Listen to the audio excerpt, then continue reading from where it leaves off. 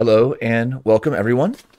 Thanks for joining. It's November 30th, 2021, and we're in ActInf Lab live stream number 33.2 on Thinking Like a State, Embodied Intelligence in the Deep History of Our Collective Minds.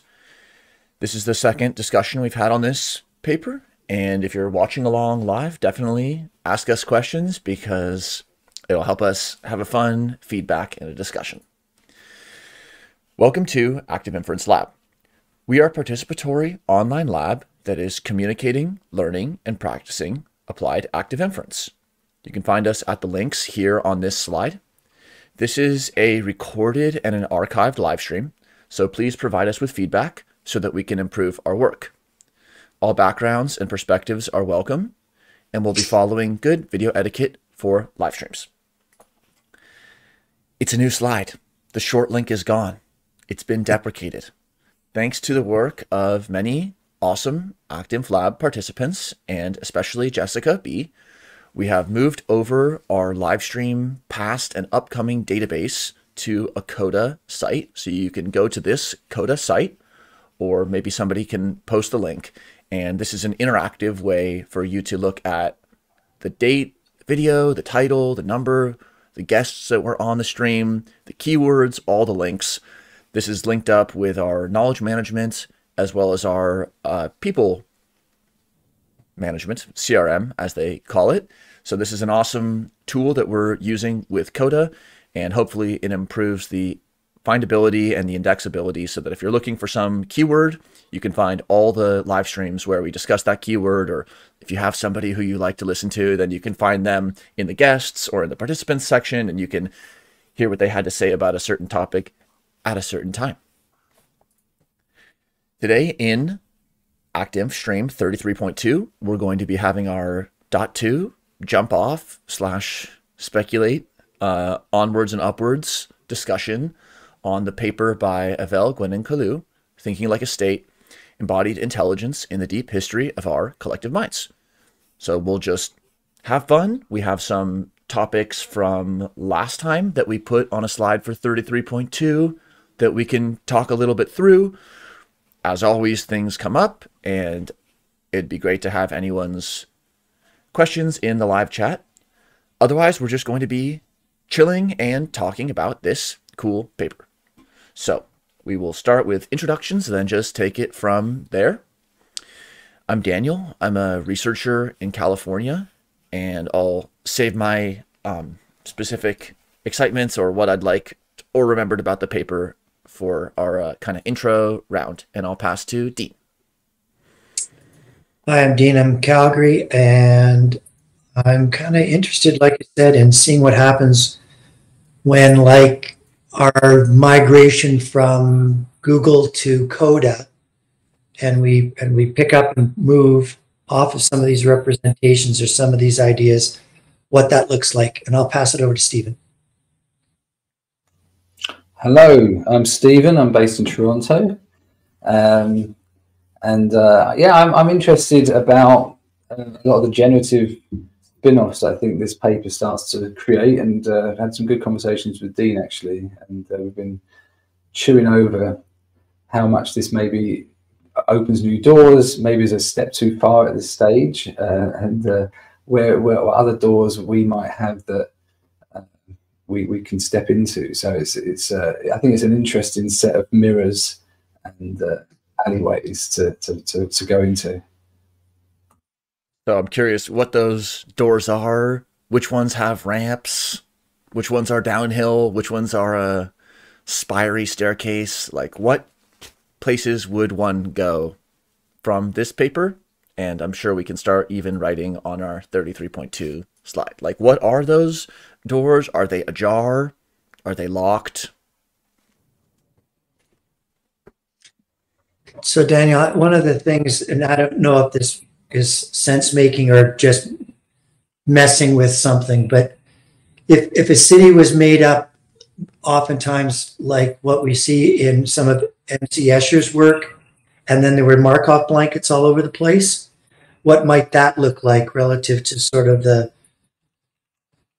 the city that I live in, or the city that you live in, or the city that Stephen lives in? And are there ways that we can, are, are there similarities and are there real differences between what that sort of MC Escher world and Markov blankets would represent as versus the, their actual representations of actual cities? That's one of my questions.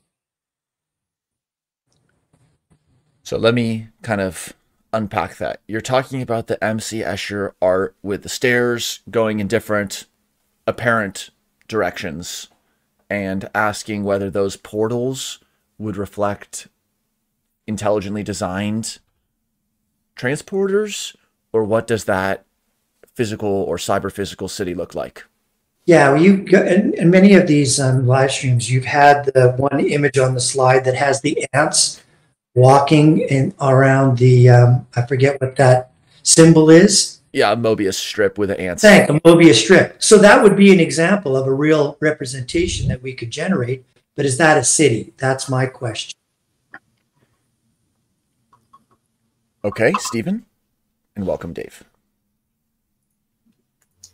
Yeah, is that a city? Is a good question. I mean, it also takes me thinking about something called transect walks this thing called transect walks, which is what you can do in a participatory engagement with a town or something, where you literally you, you transect or you walk through a cross section of a town and just see what you end up encountering. It's the way of sort of structuring participation, but it's um it's an interesting question because on the like so basically start to move through it and we go through a path and start to see what's on that route.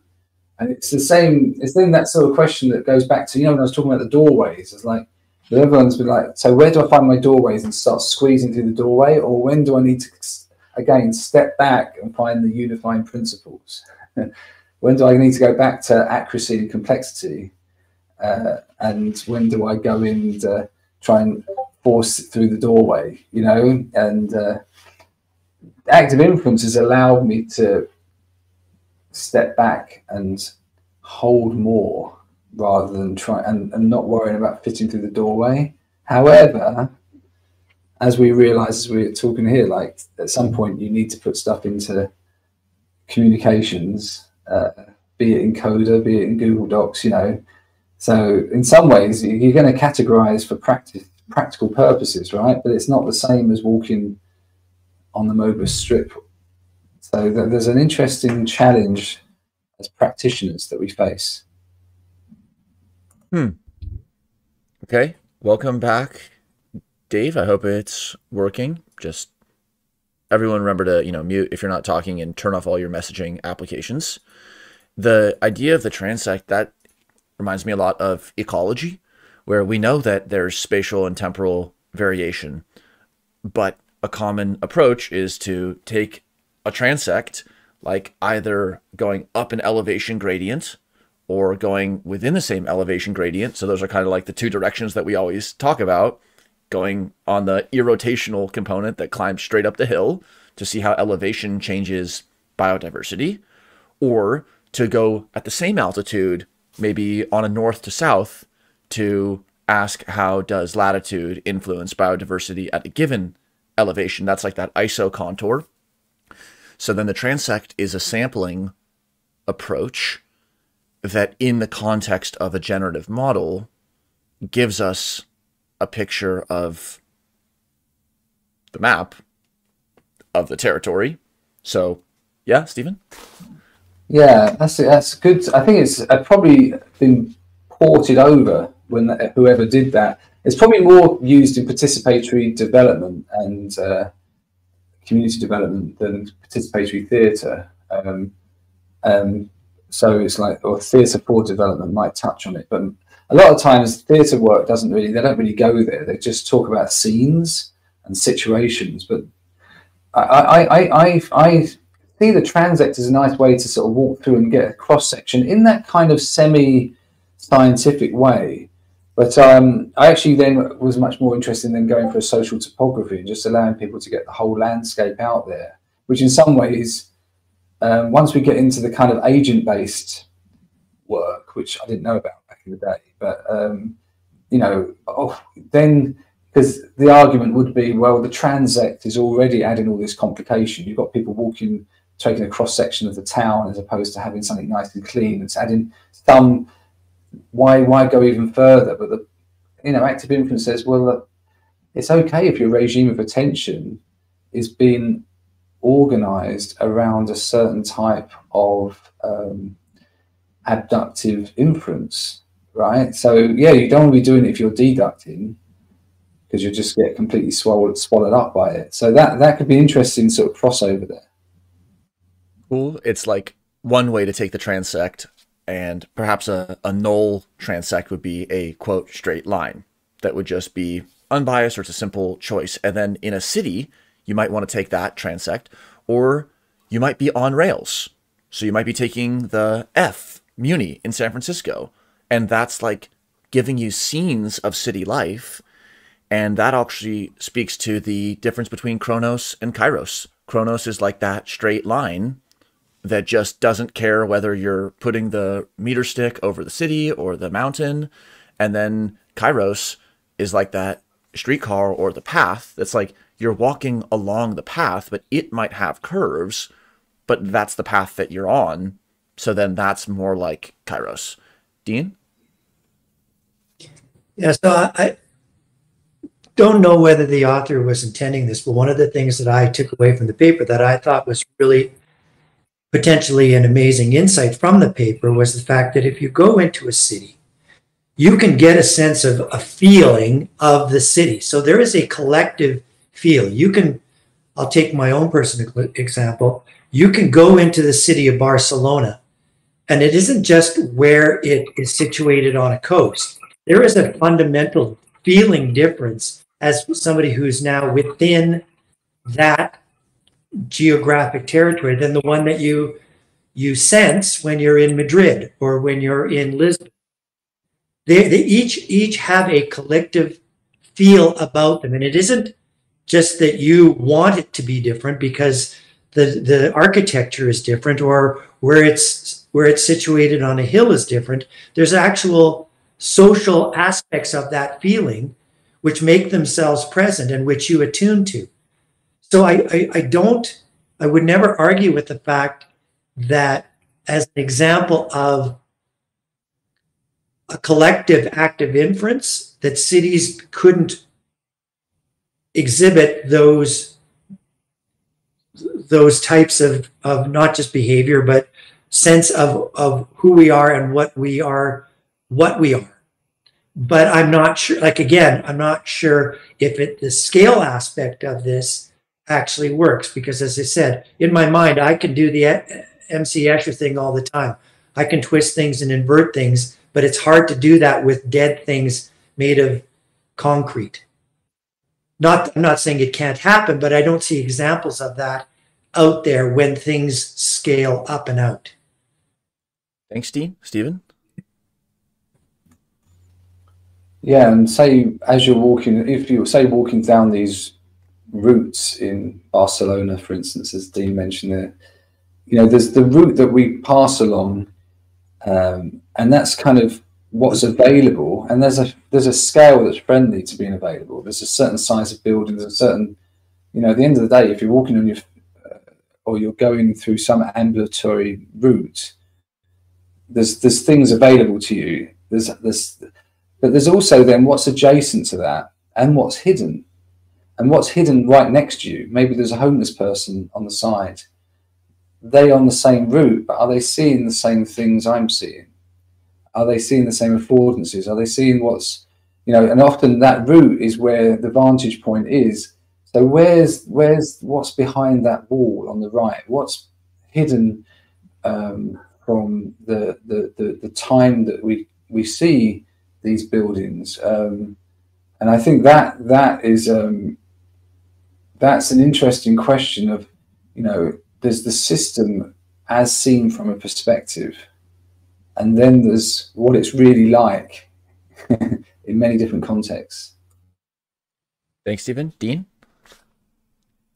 Yeah, which which brings me to the Sagrada Familia, which to me, standing beside it, sticks out and up and all over the place and has um, allusions to termite mounds and and and and like it's one of those attempts, I think, to actually mimic the things that we see in nature, and it certainly is solenoidal and ramping. I mean, it's if you want an example of where architecture is actually doing a symbolic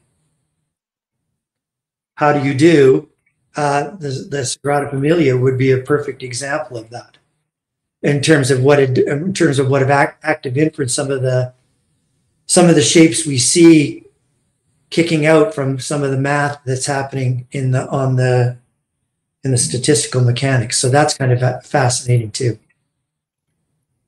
Hmm. You know what you mentioned? Uh, okay, a few um, you know little references since we're in the fun dot two. You there mentioned we go. spiral. So the Tower of Babel, whether or whatever it was, it's often, at least classically, represented as a spiral ascent. Yeah. So that's very interesting. That that's it's not like the Tower of Pisa, um, with just rings. That's like isocontours that are separated from each other. But there's something about the way that it's classically shown that makes it look more like it's a spiral, which is, as we've discussed from a technical perspective, related to the decomposition of that spiral into an uphill irrotational component and then a purely rotational component. And then the other sort of uh, reference was to William Blake's poem London, where uh, he says, I wandered through each chartered street near where the chartered Thames does flow, and mark in every face I meet marks of weakness, marks of woe. So here, there's so much about how um, the streets are chartered, the flow of people, and the river is chartered because it's also part of the niche that's been engineered and there's also flow which brings us back to number 32 that was our big lead in was flow. What is flow and how can different systems have similar mappings of heat flow information flow bulk flow particle flow liquid flow? So how does flow matter in a city? The sewage going out and the resources coming in. And then also it's like even niche modification on our countenance. It's marked on the faces that Blake is meeting. Aspects of the city are kind of imprinted on them. And then that speaks to what Dean was saying about how there's like a collective feeling that's partially architectural, but it's like a feedback that's complex between the people and the time and the place. So Dean, then Stephen. Yeah, and it, and it's it's interesting too because the artifacts part of this, whether it's a, a, a cathedral or or whatever the artifacts are that get kicked out, we can look at that from an ingredient standpoint, like we can look at beer as having water and yeast and barley and and whatever, right? But the but the fact is there's also time required and there's also energy that has to be applied. And I think that's the part, the time and the energy piece of city states that are are the real key to whether or not we can see what as individuals we we perceive active inference as affording versus what on a collective level we see active inference as affording. I think where it where it separates is on the specifics of the ingredients, but where the common is, is in terms of the energy applied and the time required. Thanks, Stephen. Yeah, and with the idea of the time and energy, um, and we are talking about scale, you know, scale friendly. You know, when you're around the Thames, I mean, back in the day, there was that big, there was a there was a boat full of important people. I don't know if they're royalty or whether politicians or whatever, but they were on the Thames and the, the boat kind of sank and the people in the water, because the water was so putrid and rank that a lot of them died basically. Um, and uh, that instigated a lot of the cleanup. So I suppose there's this question of like, how close is close? You know, like you get closer to water, and at some point you put your head in it, you can't really make anything out apart from water. You know, then you you've got like certain vantage points which allow you to understand that you're in a chartered Thames. You get so close, you could be in any body of water, and then you move out further. So there's a there's a there's a scale dependency in terms of how you can structure relate to the information, and then just you know, whether you like it, there's a structurally dependent nature of the scale of the Thames, right? So I can't walk across the Thames because it's too small compared to, say, a small stream. Um, so these are these are some of the questions in terms of how the information is going to be processed and, and how much of that information is adjacent to someone and how much of it's hidden. Because those people on that boat, they lived next to a smelly Thames for a long time. Actually, the people in the House of Commons used to have scented handkerchiefs they put up to their nose so that they could overcome the smell of the sewage in the, in the Thames, right? And uh, so, you know, at some point they got they got up close and dirty to it, and uh, probably changed their perception of what was really going on. Interesting. So another thing I had written down and kind of connecting us to some of the core terms in active affordance, which is the capacity for action.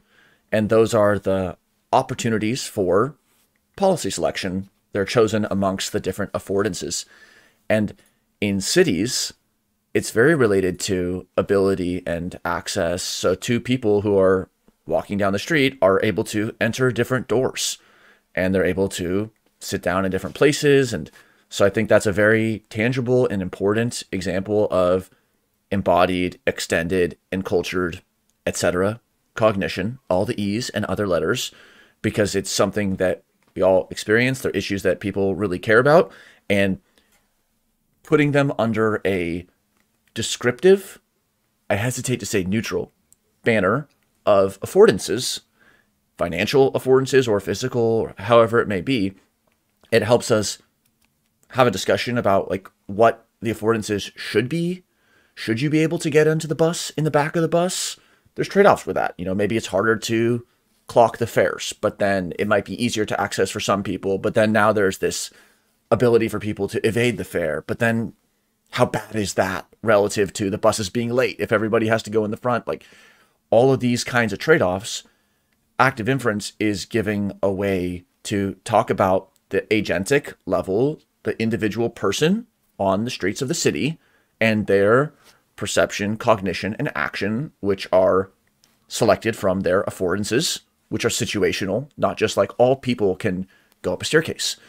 And then we have a individual level model and can ask then, okay, collective model, feedback with a niche, and then where Avel's paper takes it is like the city and the state as active inference agents composed of subunit active inference agents, just like we can have an active model of a body as well as of the cells.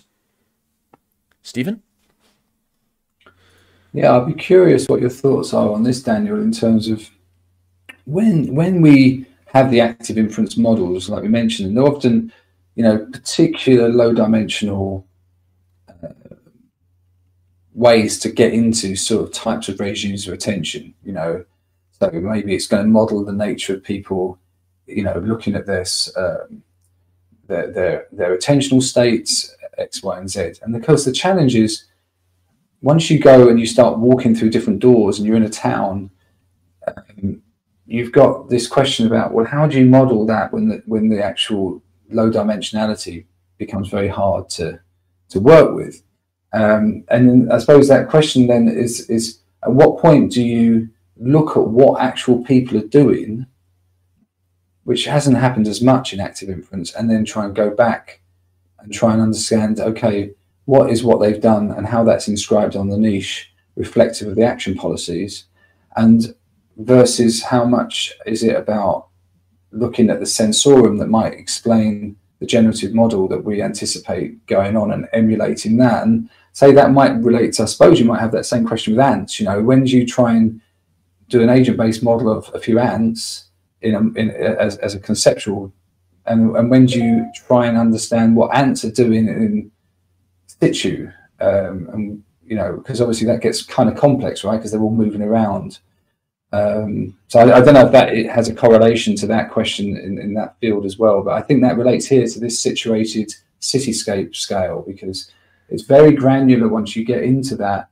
And in some ways, it's nice to make it become like a mind. It's nice to make all of that because suddenly it, it kind of fits in with the modeling that we kind of use, right? Uh, and in some ways it might. So there may be some validity, but there, it may be that that that we have to bring in that mind body environment dynamical mess.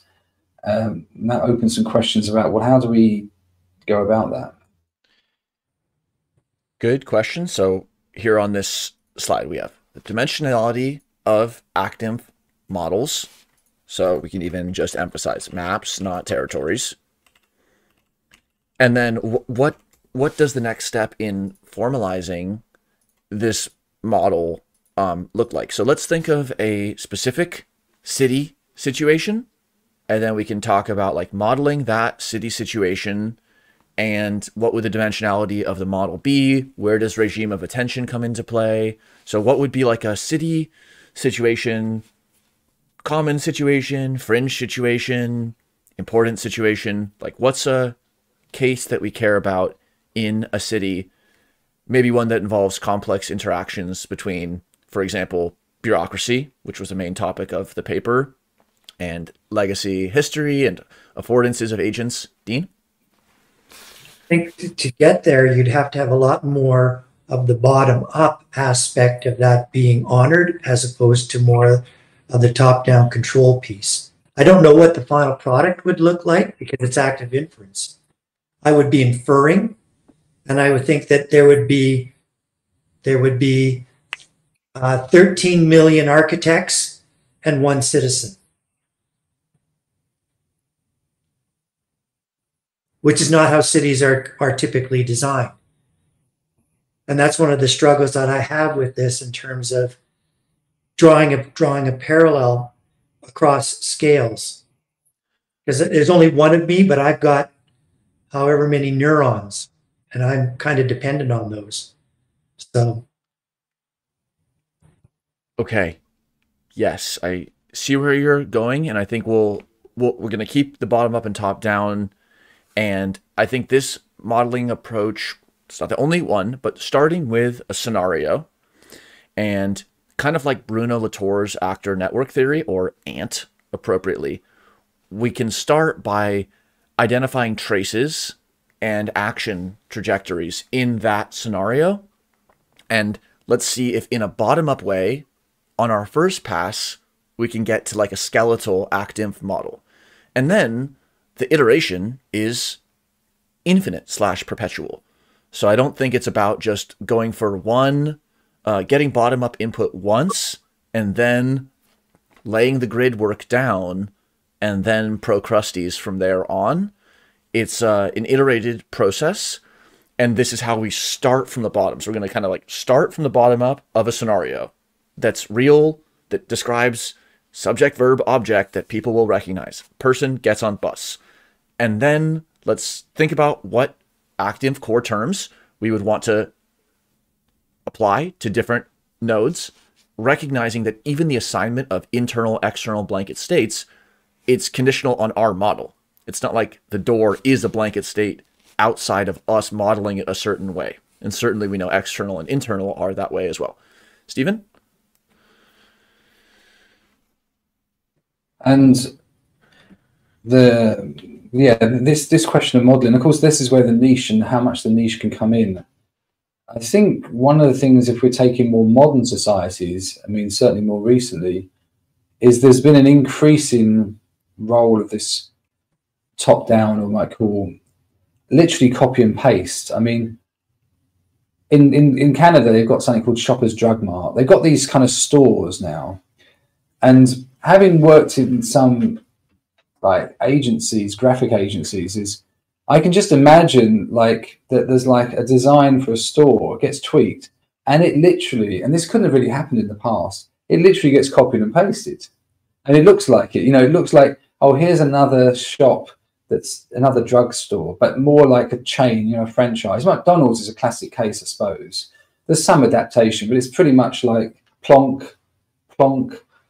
And in some ways, that's that now uh, there's an inference. It's kind of devoid from active inference, and that may be part of the problem. Is the more that it's done that way, and the less that there's a kind of an even in the top down, there's not really even an inference process going on there anymore. It's like what we're going to do? I'm just going to copy and paste using a machine something that was done elsewhere. It's not even contextualized from the top down anymore. It's just we're just completely bulldoze whatever we need to make it fit. Agree that that's the franchise model, which allows for rapid deployment, for example. And then on the other side, from the user's perspective, maybe walking into a franchise is comforting. And there is a reduction of uncertainty about aisle seven is where the cereals are. Oh, wow. I was right. They're actually there, even though I've never been in this city. And so that is definitely a evolutionarily novel context to have that level of precision of like what you'll find somewhere you've never been. But it allows for a um, increasingly globally accessible reduction of surprise. And maybe we're seeing that the reduction of uncertainty of what is there and the quality and how many grams are going to be in that box and the profit margins of everybody down the line, that system, in many cases, displaces the you know hand shoveling of granola and every little co-op having its own granola blend. And these are definitely um, scenarios that can be modeled with active inference. Dave, and then Steve. Yeah, the uh, cut and paste mentality for corporate decision making in particular is really destructive. Uh, the single biggest determinant for where you're going to locate a new business, if you're a corporation, either putting in your own outlets or doing franchising is is there lots of competition? If there's lots of competition that's the location i want. So you've got all these outlets competing with each other when you know across town there's this whole underserved area where everybody would be happy including your employees and your stock owners. I've seen this in uh, when a walmart came into my old town. The one big draw that would send people to the Kmart is Kmart had not changed any of their layouts for decades. So all the little old ladies who had trouble remembering where they lived could still find the granola. So what happens when when Walmart opens up across the street? Well, they went in, reorganized Kmart, and all the little old lady says, "Well, if there's no reason to go to Kmart anymore, I might as well save a few cents at Walmart." And uh, and again, on a first pass, it's like put it where there's less access to that thing. But you go, well, I already know people are shopping here, and now I can draw people who are shopping and people who are new. It makes makes dollars doesn't make sense. What do they say, Stephen? Yeah, this this question about how to deal with the niche um, is a massive, massive challenge. You know, because the the the bottom up ability to self organize once that's lost um, you're you're now in a different regime. You, you've, you've lost something and it becomes um, it becomes augmented by these other because it's not even like we say that somewhat we look they don't necessarily look like if i was in a town i might look where people are shopping but actually, what's happened is they're looking at the outputs of some metrics, which tells someone at head office the, the, the key performance indicators from which they can algorithmically make some decisions. And it, it all starts to, you know, roll out. Um, and one of the things that does mean uh, the initial stage is with, say, food, like one reason for say, oh, why would I go to McDonald's? Um, like, well, at least they think they wash. They don't know it, but by washing everything in ammonia, or by basically by things always not having E. coli, which is not an incidental thing in some areas. So you go there, and it's like it becomes like this will never fall below a certain standard. That's what their main thing is. We've got buckets and buckets of disinfectant around the back, so you're never going to have to worry about any of the equipment, blah blah blah. But of course, the downside of that is um, that you, you, get into this vicious cycle of mechanization, um, which you know suits that kind of producer. That reminds me a lot of our discussions with Stephen Fox. I think in 27 about industrial engineering And um, before Dean could even reload, there was the craft dimension. And it was about the integration of craft and industry and how just bringing up here's the tolerable limits, like that doesn't mean that you're going to take it to some extreme over mechanized way. But balancing those two, I, I just want to return to a specific scenario, particular scenario, in a city that will help us extend and connect to the paper. And then we're going to go through some of the terms and actually just stay with one model and look at what does an active inference model of a city look like. Some people may read Avel's paper and then think, okay, it was prose. I didn't see a figure. I didn't see an equation. I didn't see an example. So what are we going to do to actually connect this to my local public transit planner or this grant that we have in this area? Stephen? Well, it could use an example um, helping to connect people, connect across age and culture, um, and using public spaces and uh, internet access.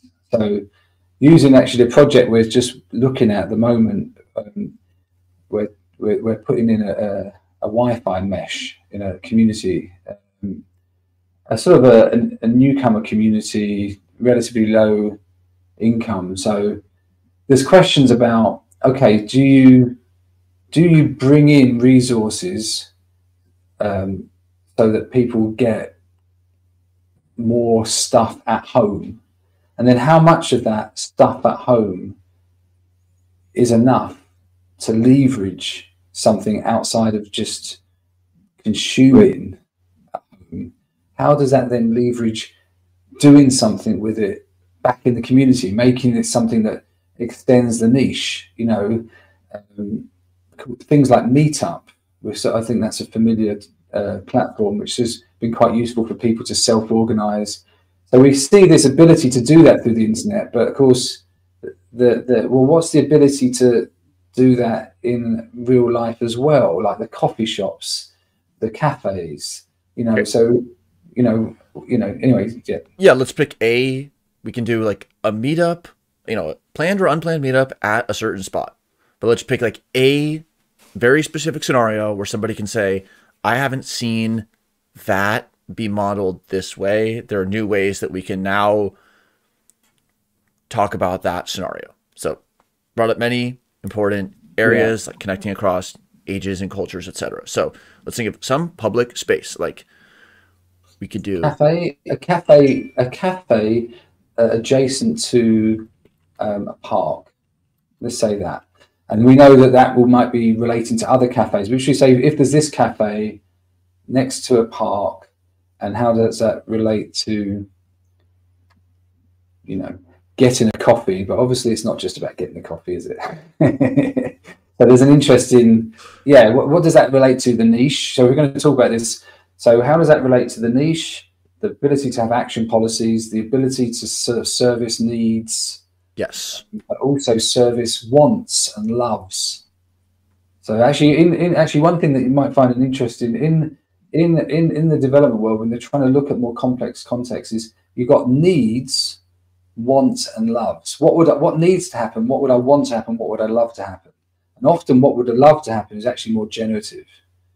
We often everyone wants to talk at the needs, right? I need to get a cup of coffee. Okay, here you go.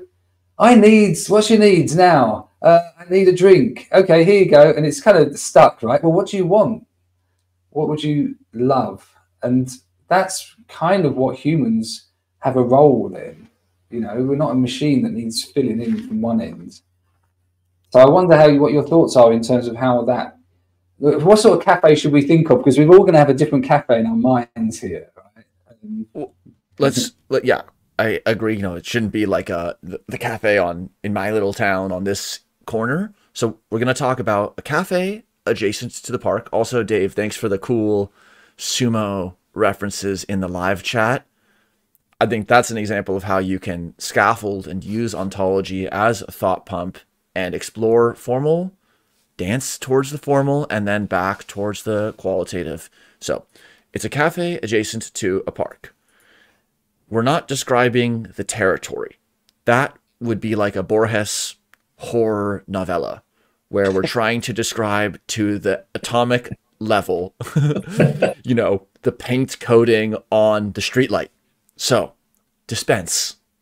We're doing a human centric model. Maybe there are assistant animals, we're going to build up the model. And that's why we're discussing this on the slide with dimensionality. So, what's the dimensionality of a cafe next to a park? I mean, the question barely makes sense. You could have a parameter in your state space for every molecule of air. But we're talking about a communicable, simple model that might be on some sort of Pareto optimal front, Bayes optimal front of accuracy and complexity. So it's like, I can't explain this to the local politician in a third of a second, but three minutes is probably too much. So we're going to find some communicable level of detail and make a use oriented active skeleton and then see where that takes us. Dean? So this is a, I'm asking this question because I don't really know. If we've got a cafe adjacent to a park, are we having some kind of a, are we assuming some kind of a compounded sense around what is an attractor state here? So it's a great question, like dwell times. Like maybe there's some transition frequency from the cafe, you know, from non locations that we're not even discussing. It's not the whole world. This is our map. It's just a little map into the cafe and then from the park to the cafe.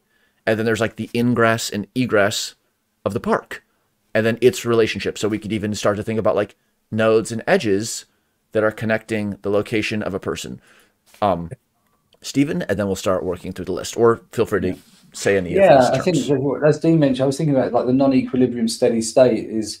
So maybe we need to think. Okay, you've got a cafe adjacent to park. Okay, so like you say, you could be what's the non-equilibrium steady state of that grass, if there's grass on the edge of the park, right? Or what's the non-equilibrium steady state um, for the um, um, the behavior setting actually some really interesting work um, that uh, Harry Heft does with behavior settings. So maybe that could be another. So that, um, and of course, we'd have to see what scale. So again, what, what sort of scale is friendly to this kind of uh, question? Um, if if the behavior setting gives us kind of a, kind of an idea of the niche almost as is capitulated by each person um, and of course, this is where the challenge is in terms of if I'm going to be taking the sensory state perspective, I, I kind of have to take an agent. Yes, there's no sense state outside of a specifically defined agent. agent. So, which agent are we going to be looking at? Should we take Humans? the barista? Do you want to take the barista? That might be easier. Look, let's just do human. Okay, human. Okay. So these are people who we're talking about there's other entities. There could be drones flying around. For sure, there's ants. There's all kinds of stuff happening in the territory, allegedly. But we're going to be making a reduced dimensionality model, maybe one that has low computational overhead, or maybe one that's easy to communicate, or one that explains a lot of variance, but not every single nook and cranny. So we're going to be talking about humans in the cafe adjacent to the park in a city. Dean? So if we're looking at this through the lens of active inference, there's two things now that have been raised. One is, do we have do we have an attractor state? And meaning, will people migrate? Will they move? Will they congregate? Will they gather? And then Stephen brings up the idea of okay, so how do people remain in that non-equilibrium steady state? How does the expectation now get realized once the migration has occurred? This is what an action and active inference working together allows for. Something gets kicked out at the end, right? Some some material thing with with ingredients that we can now account for gets kicked out at the end. But in the meantime, what we have to do is we have to actually look, will people gather? Is this actually a place that people will now move towards? And then because that's a city, right? They've all congregated. And then we have to ask is, will expectations meet intentions? That's what active in, that's what going through an active inference process actually affords. It doesn't guarantee, as you said, Daniel, it doesn't guarantee the, the specifics and the particulars. What it does is it holds up on a more abstracted level for a longer period of time before energy is actually applied, before something actually materializes. And I think that's what gets messes people up because it, there isn't a critical path ready to be fulfilled. It's an active inference process that has to have certain anchors in the ground before you can before an anchors meaning abstractions that you have to have available that act as affordances that eventually kick out the blueprint, which eventually kicks out the dwelling, the edifice. Thanks, Stephen. And so you've got this kind of broader dynamic. So we've got again, so resolving scales again sort of comes in, okay, because could like there's going to be at the broad level customers and someone serving in the cafe, right? Um, Starbucks calls them a barista, right, to tie in with the, that vibe. But so you've got they've got a different teleological expectation, even in the abstract. We haven't even worked out who they are, right? Now, of course, that's not quite so true if one of the customers is an adult with a three-year-old child, right? The three-year-old child's expectations are slightly different in terms of what it is to go in there. So you've got this, but essentially speaking, there's a regime of behavior that each of them are teleologically attuned to to some extent. Let, let's go through these terms in this order, and there's a specific reason why. Mm-hmm. So, affordances are capacities for action. They're yep. what actions are selected from. Yes, they're ecological, et cetera, et cetera, et cetera. Which affordances will we put in our model? So, taking out a phone of your pocket, it's an affordance. But is that the model that we're making? So, again, not the dimensionality of the territory, but what is our model? Are we interested in treating the person like a blob and the affordance is literal, just go to the park or leave the, the scene. And so we can have a simple matrix. Are you going to be in the, the three by three matrix? Are you going to be in the cafe, in the park, or neither? With a transition on the off diagonal, and the diagonal would be your dwell time. So that is like the person is just like a point. Okay. Also, affordances can be zoomed in and a lot more granular. The affordances could be the angle of every joint in the person's body. And that might be relevant if the steps are going up to the cafe and someone doesn't have a joint mobility to raise up their leg a certain level, then that is going to influence their transition movement matrix. So when we coarse grain to just the blob and the 3x3 transition matrix, which is simple, that may abstract above important layers. So that's why iterated modeling is really important. But iterating means we need to have something there to iterate on. So for a first pass, do we want to do a model of movement of the people amongst the different spaces? So that would be like one example. Another example would be like, we're interested in drinking behavior. So the affordance that we're going to model is the choice of no drink, coffee, tea, smoothie. So we're making a kind of behavioral economic model and actually we're not as interested in the movement transitions. We're interested in how the niche, the temperature, influences people's buying habits. Or we could have both. We could have where they are as a blob and what drink they buy. Or we could have where they are and all their joints and what drink they buy and them looking at the phone. That's the dimensionality of the model. It's not the dimensionality of the territory because we're still talking about the same place. So, what kind of affordances do we want to focus on? Like, we know that you could go anything a person could do is going to be an affordance. But what affordances are we going to be talking about here? I, I quite like the, the, the working with the, the where, the awareness. Um, I think there's a lot of tendency for what the person orders, what the thing is. The sort of thing that you can, in some ways, potentially emulate in a lab. I don't think you can emulate the awareness in a lab. Like, so what sort of zones might they occupy? Like, there's there's around tables, there's around the doorway. So it could be, you know, you've got these, yeah, you've got the park. So even more broad, yeah, maybe a very broad level. There's the cafe, there's the park, and then that can that can then break down by some zones, or maybe they they they, they fall out from the modelling, you know. Um, but um, yeah, stay. So stay. these, this is going to be fun because uh, I'll just do it like so. the diagonals of the matrix. This is like a movement matrix. So the stay is the number could be like zero to one, the probability in the next hour or the next minute. It's not an absolutist claim. It's time dependent. And then you could imagine within staying at the cafe, we could make another little matrix that had the table, the bathroom, the counter, but it would be only and strictly within that top left cell. That's the submatrices that we were looking at in number 32. So we're going to be in a state, and that's what coarse graining means. Someone, someone can't look at our matrix and say, how could you not have modeled the counter in the bathroom when people have different... Great. We made a three by three matrix. Now let's make a submatrix and let's make that fine grained. Or, the, and that submatrix could be defined in terms of chronos, like what is your coordinates in the cafe, three comma four. Or it could be kairos.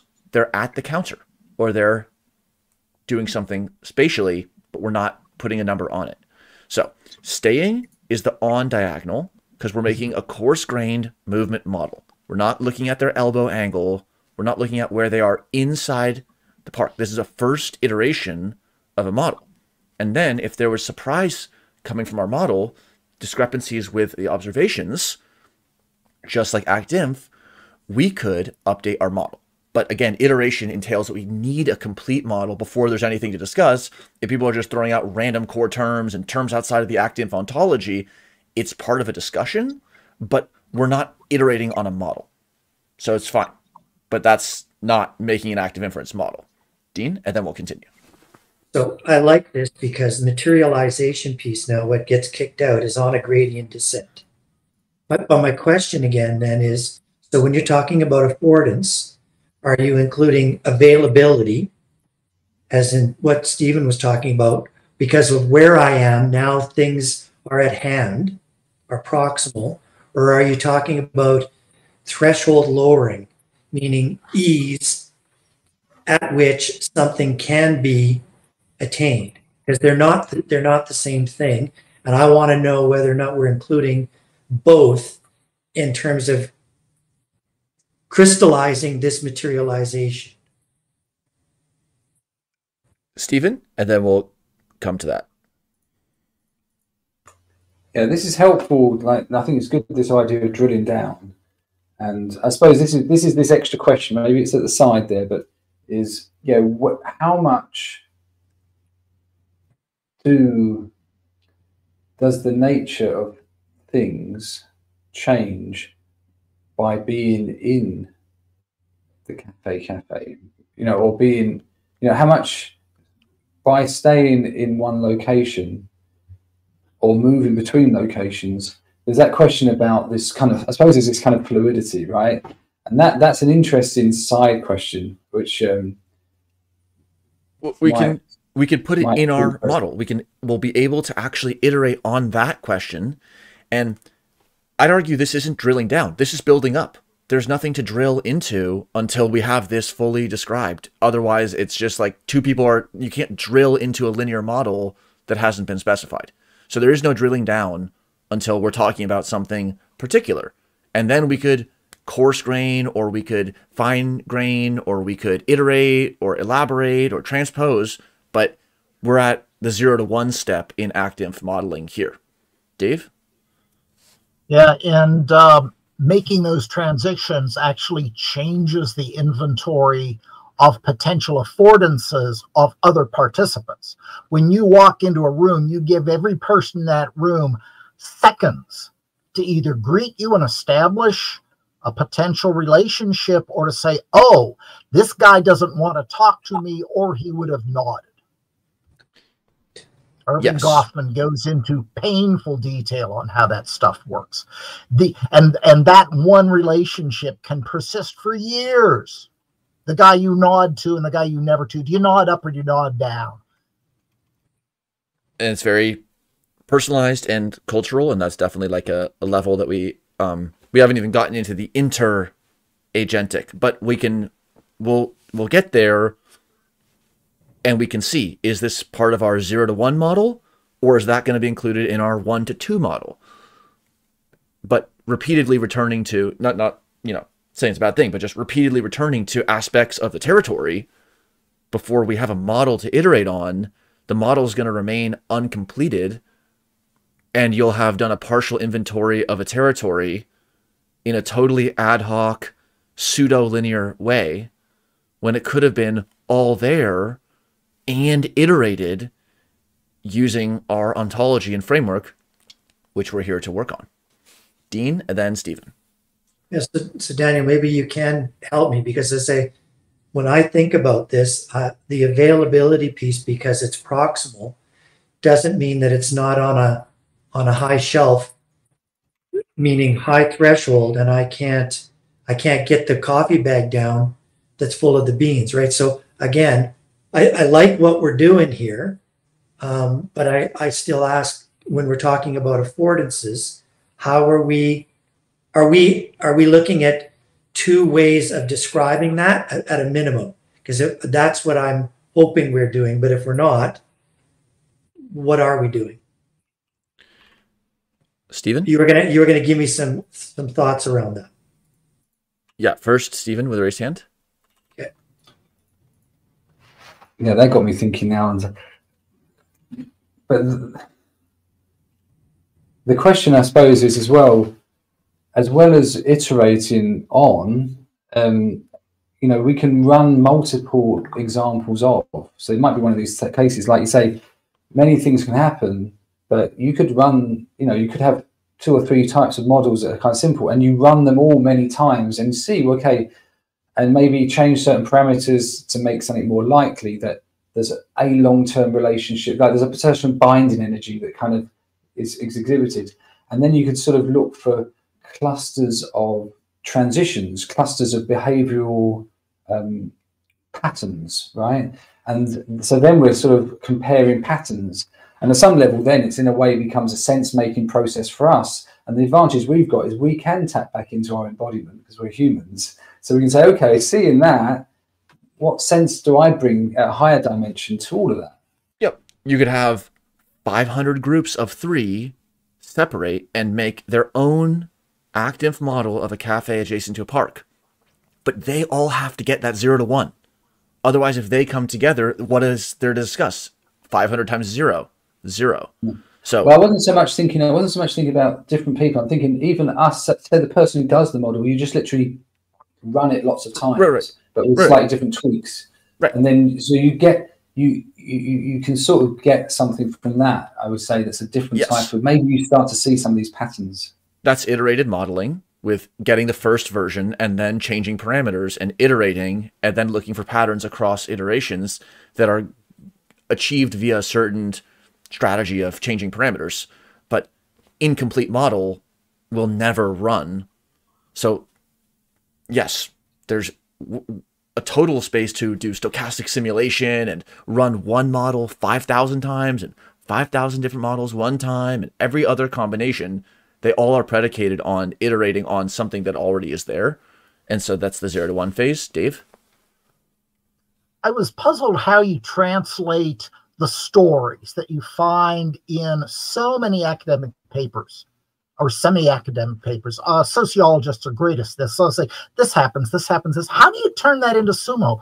Very simple. Exists. Exists person, person enters room, and, and, and. And you throw it in the model, and if it says contradiction, something's wrong. If you're really confident that, hey, that's the way the real world goes, you negate it. You throw a does not exist, and you got a universal and run it and it blows up and you say oh i guess not everybody does. What i said is wrong. Let's find out what i did wrong. Cool stuff. You don't even need the exotic uh, you don't even need to recreate um, mathematically oriented modeling tools. You can just do it in pure yes or no true or false logic. Just realized that this morning and my head lit up. Nice. Um yeah take people at their word. Just use their word. And they asserted that, this. And then I hope they used nouns and verbs. And if so, then you could be able to parse it. So let's, we're making a coarse grained movement model. So again, it could be fine step. You could have the affordance be to take a step and the location to be something else fine grained, but we're taking a coarse grain. Now, we're going to talk about the sense of the agents. So their actions are their their movements, which is just a coarse grain movement state. That's the actions that they're doing inference on. What are their perceptions? We know about the 5, 11, 55 senses. It's not about the scent of coffee in this model. Again, the future model with which thing they bought, you could go to what is their sense of smell. But here, we're just going to do a sense mapping matrix with light. Okay, so the cafe is going to have red light. I love red light. So the cafe is going to have um, basically a 80% chance of red light if you're in the dark room, a 0.2 chance of sunlight if you're at the window seat and it's never dark. If you're in the park, there's a uh, uh, 100% chance of it being sunlight there's no um oh, there's no red light in the park. And there's no darkness in the park. So it's like the daytime. So again, that's iterating. So it's good to keep those things in mind and like have a coda or a space where you could have everyone's perspective added even when you're building the first iteration. But some matrices do need to be specified to continue talking about it as an active inference model. And then neither will say neither. It's never red. There's a rare red light that the cafe uses. And it's half the time sunny and it's half the time dark. Because that's, who knows? We just have maximal uncertainty, but we know that it's not red. Okay, so this is how the A matrix in active inference. If you said you're in a dark room, where are you? Well, here, given these simple numbers, we know that we're in neither the cafe or the park. If you said you're in a red light, where are you? You must be in the cafe. It's the only place with a red light. If you said you're in the sun, what is the probability that you're in the park? It's two thirds, roughly. This is 1.7. And so it's 1 divided by 1.7 is literally the probability of being in the park conditioned on seeing sun. So that is Bayesian statistics. It's like we have a matrix of sensory mappings, and then it's like, here's a new observation. It's red. You go, okay, it's 0.8 over 0.8 that I'm in the cafe. Okay, so that is the sense mapping matrix. What is the inference on? What is the S, the hidden state? Where am I? That's not directly observed you're observing only the photons in this model. So the the this is a mapping between the um, the O, the observations, and then the S, the states that inference is being done on. But aren't they thinking about their to-do list? Yes. In the territory Keep it in mind. Add a note, add a comment. We want to hear your perspective. That's not the coarse grain movement model. So these are active memes for simplifying teams. Okay, we have the perception, which is the sense here. It's three states. And we have the locations that inference is being done on. Now we can talk about preferences. What are preferences for? This is like perceptual control theory. Percep uh, preferences are over observations. So it's like the preference is to observe the body being in homeostasis. That's part of the preference specification in ACTINF. So one could imagine that if somebody um, had no preference for any of the, I don't really care, then they would move proportionally to the ratio of the transitions of the affordance matrix. So if all the transition frequencies were even and there was no preference over sensory outcomes, you would be evenly distributed.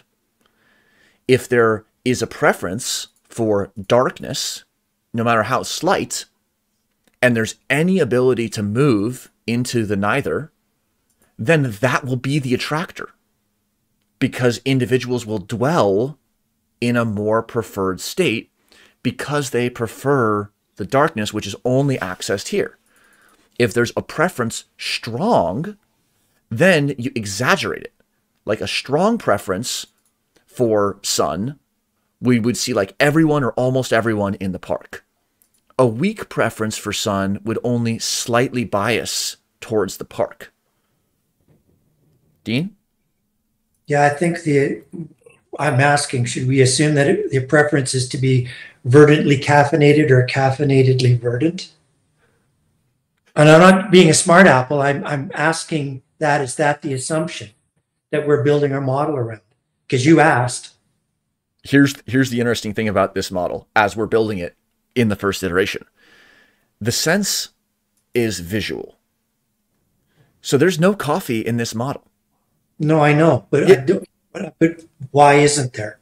Right. So if we could we could talk about um um a different affordance matrix, a different sense mapping, it could be interoception. It could be am I excited or not? And then um, do I prefer to be excited or relaxed? So just two interoceptive states.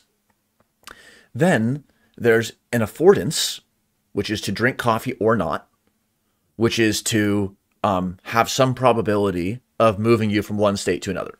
Okay? Coffee is increasing your likelihood of getting excited versus not doesn't. That is not a spatial model. So now we could make that preference over caffeination states. And that's like a module that's going to compose very interoperably with the spatial model because the affordance vector, the sense vectors, those can be heterogeneous. That can be here's the three by three spatial and the two by two caffeine, and those are submatrices. And it does turn out that the cafe is where that affordance is enabled. And there isn't the affordance for the coffee in you're in the park. But those are two types of observations. There's the photon observation, which we're using as a proxy for location. And then there'd be the interoception, which is related to the caffeination state. And then those could be combined and you could have a joint density over caffeination and location. And then policies like where to move could be selected based upon the long-term expected free energy, given the preferences and affordances of that agent. So there are different modules that can be composed in an integrative modeling framework for perception, action, and cognition. Hashtag active inference. Dean, and then Stephen. Yeah, just real quickly, I was going to say, I was going to answer my own question. I think then, in terms of a, a, a preference confirmation, the iconography on the side of the cup would seem to fit with within the niche as well. So maybe it's maybe it's a large acacia tree in green so I, I wasn't saying it in the sense that we were, I don't want to drag this off course. I want to actually reinforce the idea of how preferences align as opposed to saying, why aren't we including that? I'm kind of reinforcing the sense mapping matrix. Thanks, Stephen.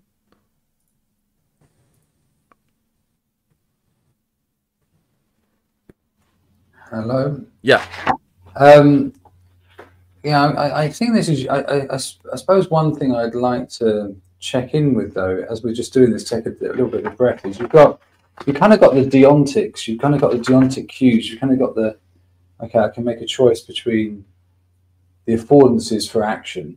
Um, so it's sort of coming slightly from a, a, a more deductive kind of script triggering world, which is useful. Um, I'm also wondering there could be, um, say, for instance, that that sense mapping matrix, as well as it being something that you know links someone's preferences back to where they go more broadly.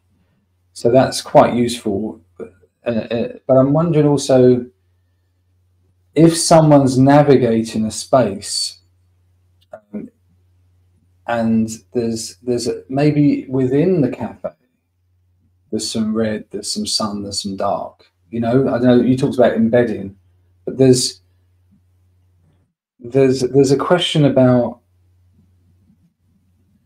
like is there a tendency to to move towards deontic type of uh, structuring because it kind of takes us there and if there was to be a kind of a, a more gradient based transition that's happening in relation to the space um, it might be a different you know, how much does this adapt to that, or does it need to be rethought in terms of the type of modeling?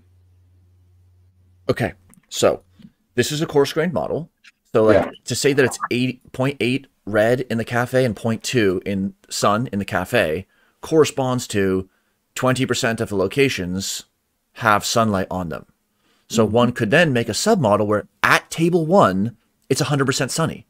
Mm. So you're still in the sub matrix that coarse grains to 80 20. But there's two tables that are in the sun, and then there's eight that are in the red. So then you would have affordance matrix within the cafe sub matrix of moving of a 10 by 10 tables.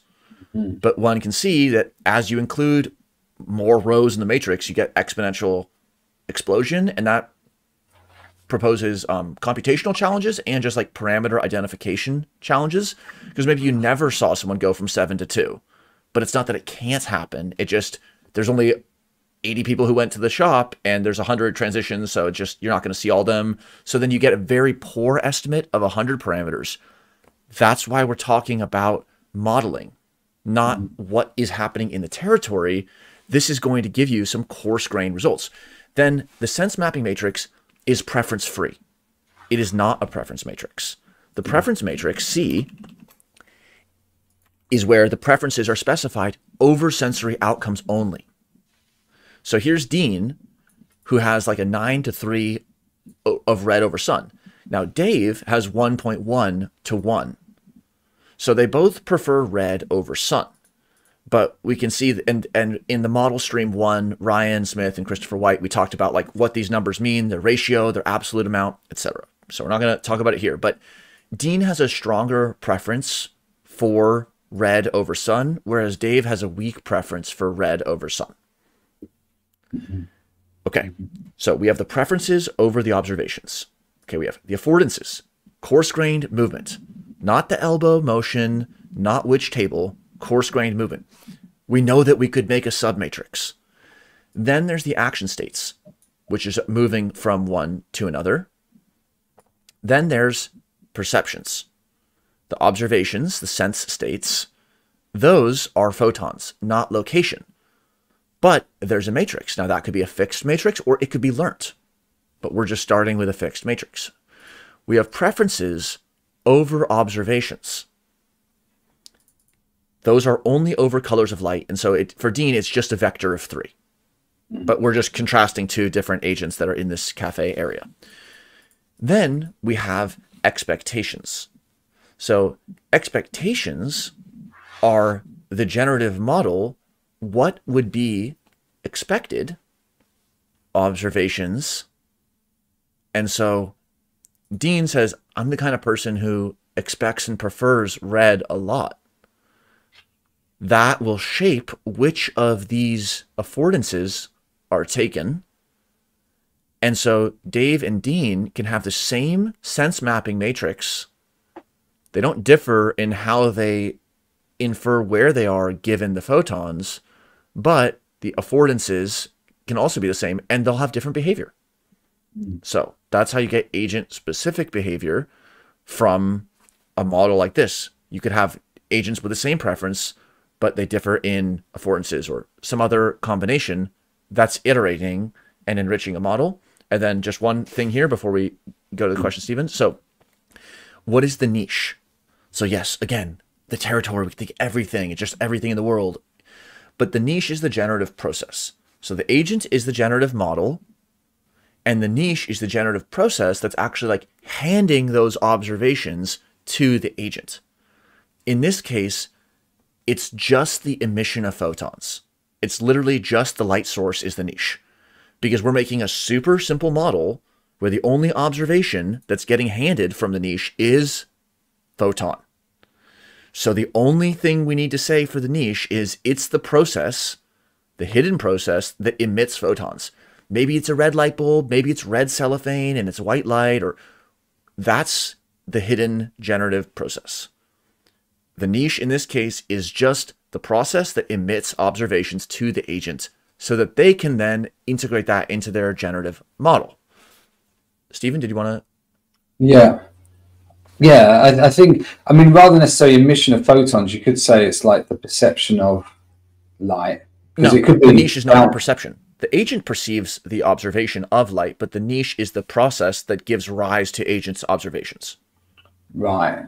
Okay, if you take it from the, but the, the red, red is not photons, that's the perception of state. Yeah, without getting into what is red, do we yeah, all see the same yeah. red? We're talking yeah, about the mapping between the perception of what is called in English red and a location state. And a location state. No, exactly. And so you then got well, two questions. One question: Do you know the list you've got nine three zero as opposed to it doesn't? So how do you scale that? Like, would you you don't do it so that always number one is the highest and it's a you you've actually gone above one there. So is that they use a different how would you scale what the maximum is in yeah. that? So this is what we talked about in Model Stream One with yeah. Ryan Smith, but basically, um, these numbers do get normalized to um, sum to one to be a proper probability in a softmax function. Oh, but, I see. So it just so, sums them all up and then divide. Yeah, sums yeah. them all up, and that so that's how you get the probability proper from this but then the ability to have it go beyond just one. So mm-hmm. um, th- that's the difference between like you know five and one versus fifty and ten. Depending mm-hmm. on the generative model, those might behave very very differently. Got Yeah, this first of all, this is fantastic to build it in real time. But I want to just now ask a question. So so and then in real terms, we built this model and it kind of makes us aware of things that we maybe wouldn't be aware of because we weren't in the active inference realm. But now my question is, so so now is this is this also projectional? What kind of inferences do we make off of this in terms of agents go, don't go? Because that's to me, then that's when the real value is realized because we can't predict with certainty who goes and who doesn't, who ends up at the cafe with the coffee and who stays at home and watches friends, right? Like, so how, so we've got this, this is fantastic. But now we want to get to a place where a person who normally would be somewhat risk averse takes this and goes, oh my goodness, this opened up something that I would normally never have I've gone, but now I'm prepared to go. Does it help? Do you think this work helps that person? Just off the top of your head. Because I know it helps me, helps you, but that person who is trying to on that decision branch moment, how does it make how does making them aware of this alter their thinking? I think it does a few things some of which we've seen in the past few minutes, others which probably remain to be explored. It separates out observations from the state that's being inferred. Because it'd be very easy just to simply say, well, I prefer the cafe. Oh, I'm observing red in the cafe and I prefer red. So by having the preferences over outcomes and then separating the observed outcome from the inferred hidden state, you're to be like, you like spicy food. That's why you say you like this kind of food. So pull it back to these matrices. Let's just say that they knew all the options. Maybe people are not aware of all the affordances that they can even take, or maybe they have some to add themselves. So this is like saying, this is like, these are all your chess moves. We're not, we're playing chess. So we're not even going to worry about, you know, knocking the pieces off the table. Like we're playing a well-mannered chess game but we can modify the rules, but you know, we're playing with the affordances. So somebody might have their um, mind expanded by just considering all the affordances that are available. Like, well, I guess I could go to the art museum in the city, but I'm not that kind of person. It just hadn't even seemed to me. So by bringing their regime of attention to affordances, we're seeing the whole space. Then people can separate out the outcomes that they have preferences over for the hidden states. And then remember, affordances are the actions that modify the transition probability of the hidden states. Actions, that's like where the pi plugs into the b, which is intermediate between the s through time. The pi policy doesn't plug into changing the state. You don't have an affordance for red light you have an affordance to move to a location that you've inferred has higher red light. So there's probably many other approaches, but this sort of like gets the whole map out there in terms of the space of the possible, which is again, we're saying that is the space of the possible. It's not like there's some other secret affordance. And then you can have a uh, conversation about how people map their perceptions, which can include internal perceptions like being bored or being sad or happy. That's the whole mental action. They can map their preferences over observations to inference on states and the affordances that get them there. Dean? Okay, I'm sorry. You, I, you froze for a minute there partway through your explanation. So if I'm saying something back that you already answered, I apologize. But so, so this kind of to me now goes back to so now that we talking about regime of attention because you were still I still heard that part. That kind of goes back to one of those live streams before where we were I think I mentioned is it about time on task because we can now measure that because that's now something that we easy to measure. Or is it still about what have we made available to ourselves? And so what we get a sense of in terms of what we might be missing in terms of change blindness as one example versus what we now again what what are what how we've expanded our awarenesses as opposed to what we've given more attention over to. Because I th- again my sense is it's a, it's easy to measure what I'm paying attention to. It's more difficult, but probably more valuable to know what what the possibilities are in terms of that 80-20 that I may not have been conscious of before. Does that does that make sense to you? Because that's that's how I see this eventually moving on a gradient descent. Yes. So these are a single level agents right now. Like they don't have metacognition. So they're not like, I'm unsure about something or I'm sad about something. But I'm seeing two cases where regime of attention applies. It doesn't apply in this current model. Two regimes of attention. One would be like an intra model regime of attention. Like we could have in this agent a metacognitive attentional layer that is either paying attention or not to sensory outcomes. And if they're not paying attention to it, it's going to slip by and it's like the gradient is flat. And then the more attention they pay, the sharper they're going to realize their preferences. It's like, wow, it is really sunny out here and I prefer red light. So I'm going to go because I was brought my attention to it. Yeah. Then there's sort of this like exo model where you're talking about bringing people's attention to different parts of the model. Now that itself could be an ActInf recursive model, but that's like using this model to drop to both expand people to the space of the possible and then direct their regime of attention to certain phenomena or attributes of this model. So there's I think there's like two little bit separate uses, but they both apply. Do you think do you think the second one because if I go or I don't go, both of them give me a feedback loop that I learn from, right? So do you think the second one is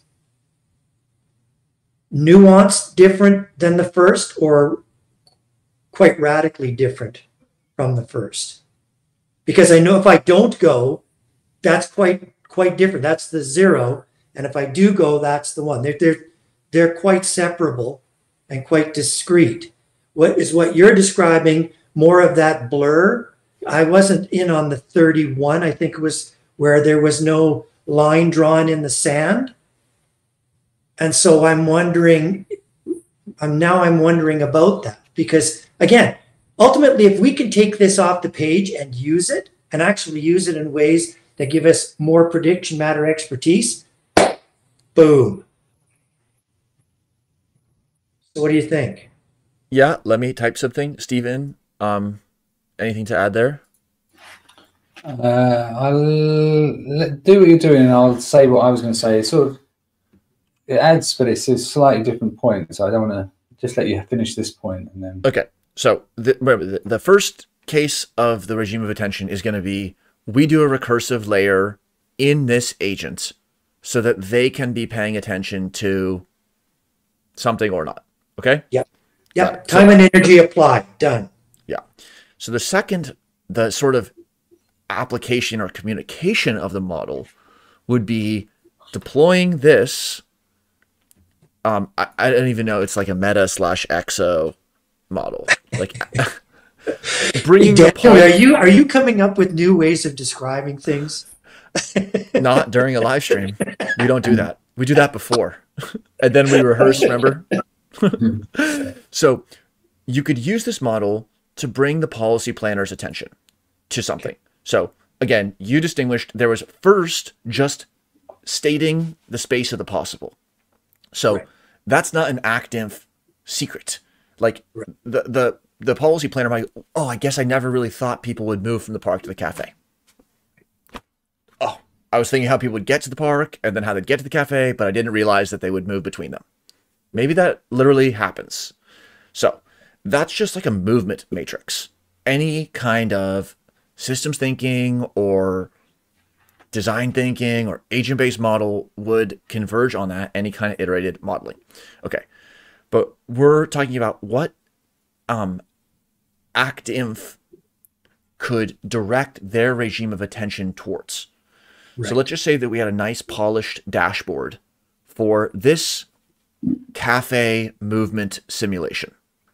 And then we had two kinds of people somebody with visual scenario A and visual scenario B. So maybe um, it, it could be anything. It could be their their um, preferences over ramps. Children love ramps. Some people cannot move up them. Some people love bright. Some people love dark. Okay, so you can say there are. Um, we're gonna just say there's two kinds of um, agents in this simulation, and we'd like to bring your attention, policy planner, your preference over observations, which is like local businesses being intact, people hanging out in the park during these times of day. You have these preferences over observations. We're kind of meeting you. And we're saying those, your observations are our outputs. Our model is outputting the things that you are observing and caring and preferring over we've done a suite of model explorations. And it seems a little counterintuitive, but adding a red streetlight in the park changes how people use it. it no, nobody would have suggested the red streetlight, but we know that there's people who love red light. And it turns out that just having one red street light, it makes it great for them. That has totally changed the flow steady state, non equilibrium steady state, reflecting an attractor in our model. That has changed. And we can see these suite of simulations that, and we're just going to call your attention to this graph and call your attention to how the points go higher on the y axis as the x axis dial changes. But it turns out we don't want only red light in the park. So we ran a simulation from zero to one, red and sun, half and half, and every combination. And so there's some curve, and we'll draw your attention to the point where that curve is.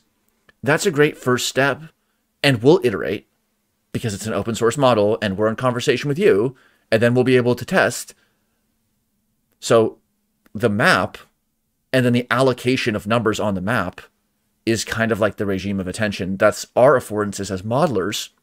And then there's that layer of communicating it clearly with strings of natural and computer language and visuals so that the regime of attention of something not in your model at the core level, like the policy planner, they're like, oh yeah, I guess I do expect and prefer this. And here's somebody who's giving me that expectation and preference and a toolkit for counterfactuals and elaboration. And their outcomes are my incomes. Okay, thank you. No, that, that but that's I think that's helpful because in the, it, at the end of the day, there's there's somebody who's actually observing this and, and, putting it into into each one of these cells. But I'm not sure that the, that the people that are actually doing it are necessarily aware of it. And so my question is, once they become aware of it, what can they do with it? What's the value to them? Yeah. So it's like the, the, the first ring of the model, you know, the person's moving. We could do mean field approximation, really simple. We could do the trajectory based particle simulation. Okay, then what's outside of our model and the, the sort of um, boutique step is communicating to the policy planner. Right. But now let's just say that I, the modeler, include the policy planner in this model, or they have a different model. Now, the outcome of that model is being passed to me. So you never get around the notion that there's like a boutique level of communication of the model. But the idea is that like critical infrastructure could be inside the model and the boutique communication could be to the public. And then we would have functional infrastructure and good communication instead of little sub ad hoc modules for critical infrastructure with boutique communication amongst them so that any tenuous wrapper drawn around all the critical infrastructure is going to be incoherent. Then that incoherent blanket cannot be communicated out another level. I think you're reinforcing the idea of the difference between instructionalism and interaction. And what you're describing there is kind of the wayfinder role, uh, sort of coinciding with the person who's wayfinding. So cool. Maybe we'll have templates, guidebooks, playbooks, workshop, all those things. Like, what is the right order? There's probably not mm-hmm. only one order. But again, if we don't have a model to discuss, it's going to be like getting to point one and then to zero. And then there's the grass, and the grass is alive. And then, oh, the grass has viruses, and our virus is alive. And what is great? It's like kind of these like false starts. But I think once it connects, even conceptually, we, we didn't write this in code. It's not even pseudocode. But once it conceptually connects, and then we can say, okay, let's make affordance matrix E1, and then let's make E2. So just like it's an alternate hypothesis on the affordance matrix. Then we have, you know, A1 and A2, just two hypotheses on the mapping between hidden states and observations. And then we're going to run a two by two model simulation. E1A1, E1A2, E2A1, E2A2. Now we're doing decision support And it's up to us because that's the unmodeled, is our decisions, our preferences over the outcomes that we're seeing. Oh, I like the E2A1 because I prefer people to be in the park. And then the cafe owner says, I looked at that one and I liked that one. Oh, we're modeling ourselves making this decision. And you like people to be in the park and I like people to be in the cafe. We have a different preference. So we're not going to eliminate tension, but that's actually a conversation to have versus I consulted this group and they made this PDF and you did this and they did a, a Word file. It's a different file type. They wrote in a different language. They're not informationally integrated. What is the comparison? Cool. You know a consultant. But then this is a way where it's people may call it transparent. I'm not sure how transparent massive statistical models will ever truly be, but maybe it's kind of like a transparent engine. It doesn't mean it's made of glass. It means like there's a window into it. So here we can see the pieces going in. There's no side door. There's no other matrix. If we specify the partially observable Markov decision process, the POMDP, those are the pieces that went in. And the connectors are also established. Then we used a message passing algorithm or some other approach to find parameters. So which part of that would you like us to interact on? I mean, that's an actual conversation. And then even if somebody doesn't know about one part, they could still be included in the dialogue. Perhaps, Dean? Yeah, and that, that again, you, you touched on it, you kind of circled back to it a couple times and you actually use the word support, whether it's support or serve or contribute, that's kind of the one constant, regardless of what how it how it sketches out. That's the one thing that seems to run through this as a constant. What how active inference actually supports what in, what inevitably gets kicked out or what we observe at the end of the day. Right like we're doing this, we're using limited high energy electrons and our attention and our finite life and everything like that, all these resources, so that we can have decision support in this example.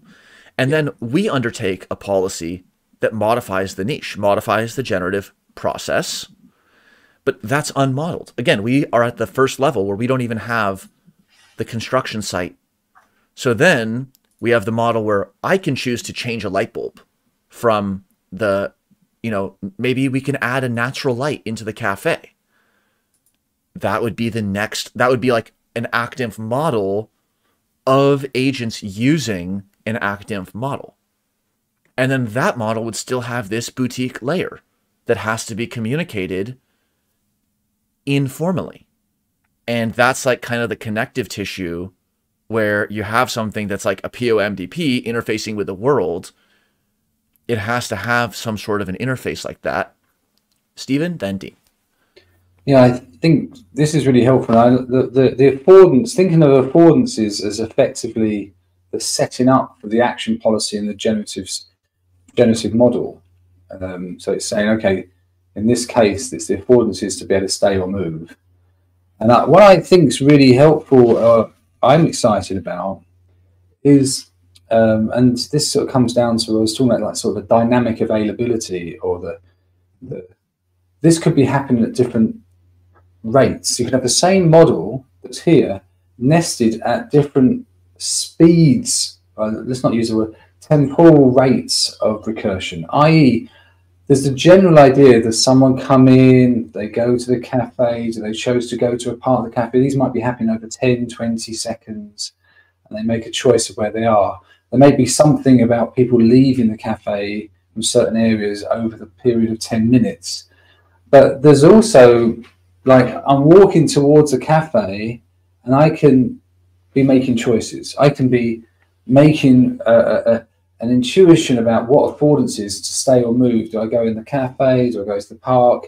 And I, I can be thinking about it. I can turn, I can change my position. I could I could be flipping and flopping actually maybe once every half a second over a period of maybe 10 seconds. It's a, and then once I've walked through the door and I'm in the queue, I'm pretty much like in, I'm going to be staying for a while, right? So now I'm in the rate. Now, so my, the rate at which the same idea of the affordance is being used could be now happening at a slightly different nested speed, right? Because, okay, if I'll maybe choose, I'm in here now, am I going to stay for a minute or not? I don't know, I'll sit down. And then it's like, I'm getting into a good conversation, am I going to stay for 10 minutes? And they're different, but they're the same in some ways. So they're different chronos, but there's a kairos that links the timeliness together.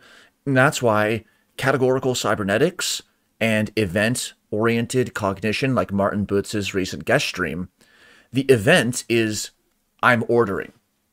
There's a beginning and an end to that. Now, within that matrix or within that event context, it could be playing out at a second by second.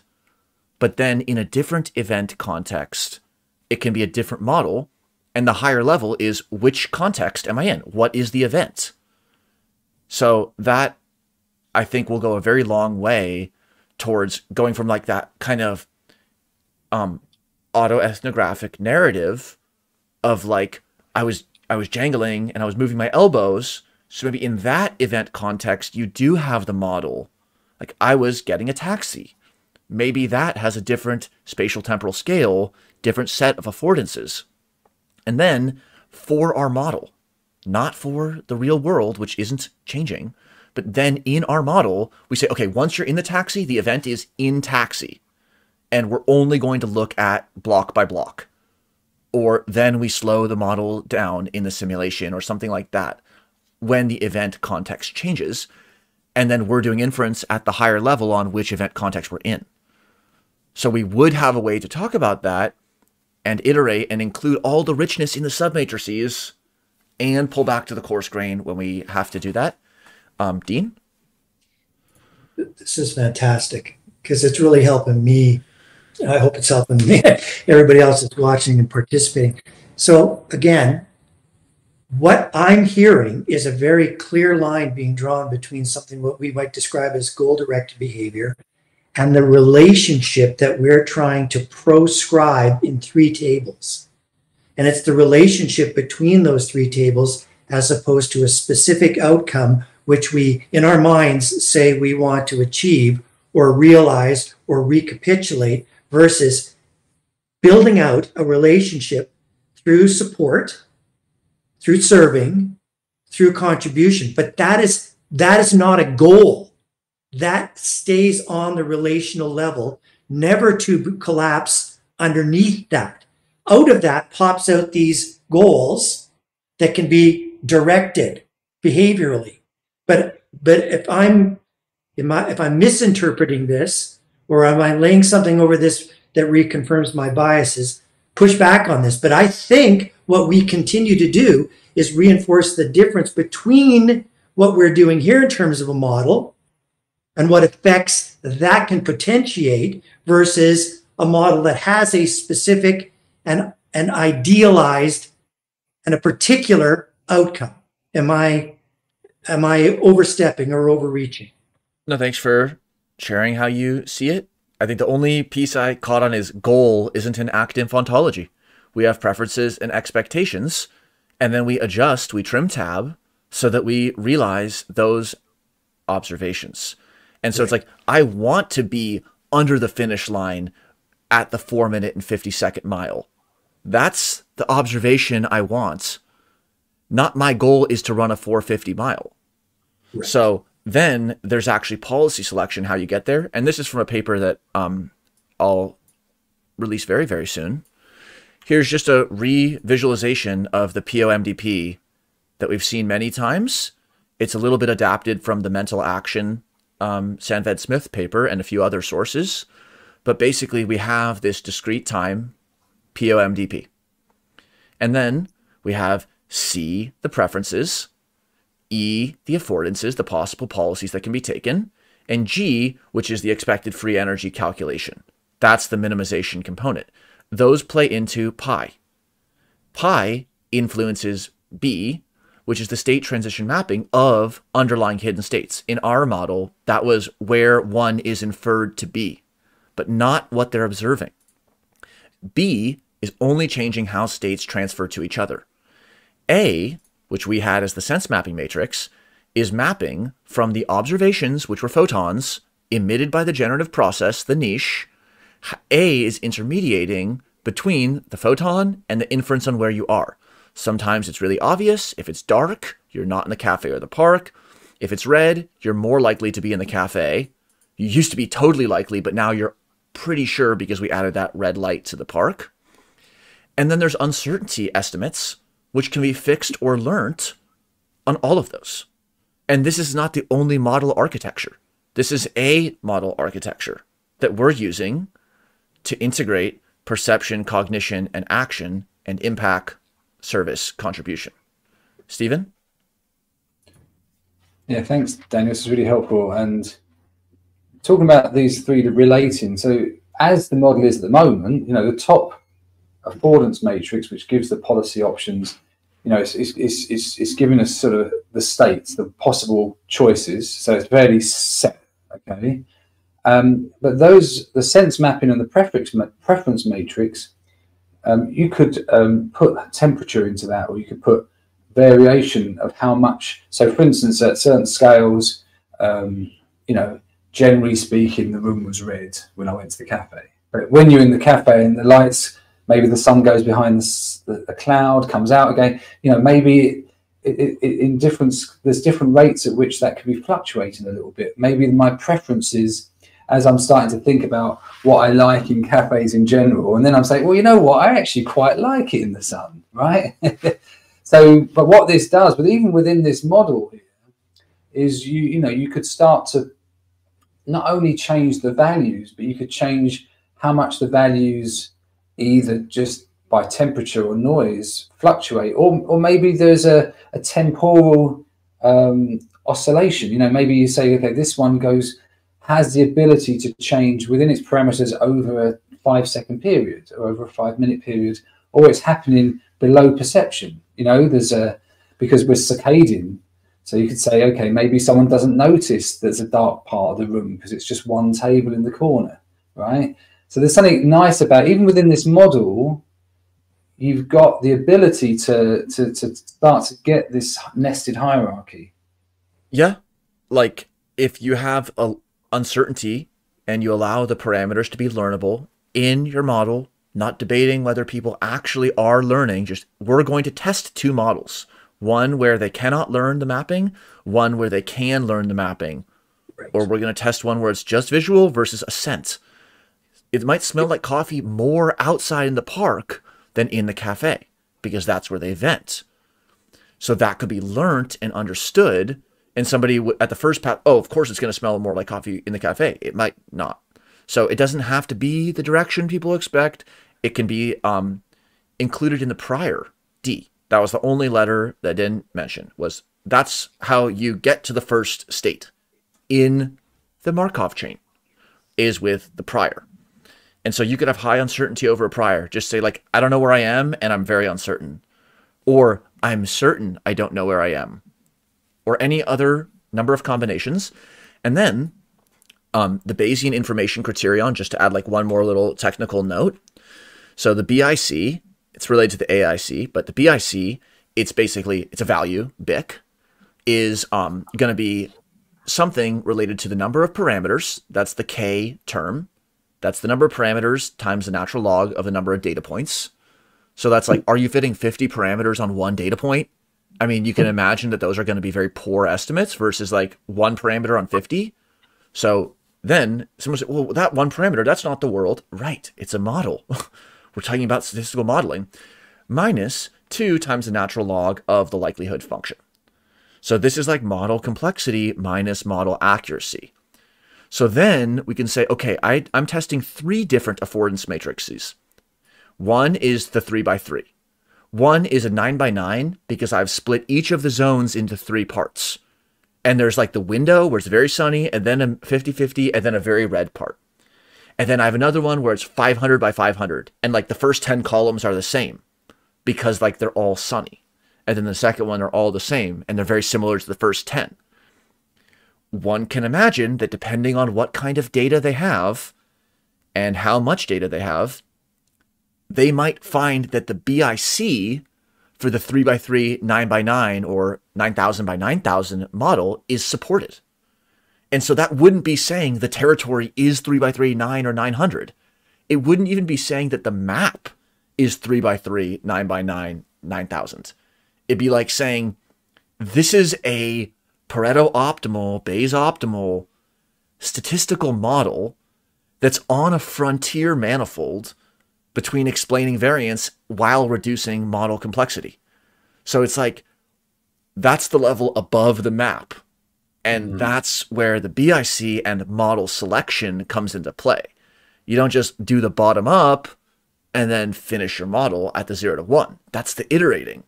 We could have a whole network or matrix of models and then have principled ways of selecting amongst them and adding in new data, designing counterfactuals. What would be the most informative data point to obtain? Or what would be a perturbation that would distinguish these two different hypotheses? Those are the kind of maximum information foraging questions because they amount to which policy as a modeler will reduce my uncertainty about dot dot dot. That might be formalized in this meta exo model, or it might not be. But we can use like actinf quant as our kernel, and then actinf qual as our wrapper, hashtag dot coms. Dave, and then Stephen. Have activities of navigating among models at various scales and topologies that you've been as you've been describing have those been observed adequately to tell to what degree free energy is being minimized during that evolution? That's a great question potentially for Martin Butz or for someone else um, which is kind of the first principles unifying theory angle, which we didn't even mention today in ActInf, would be like, could we have a common currency?